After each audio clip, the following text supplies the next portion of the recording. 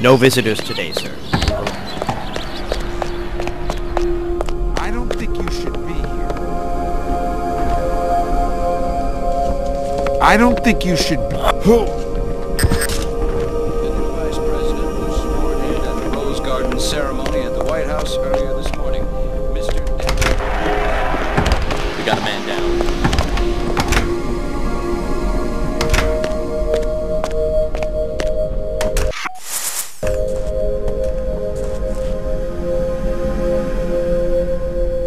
Think you should be here.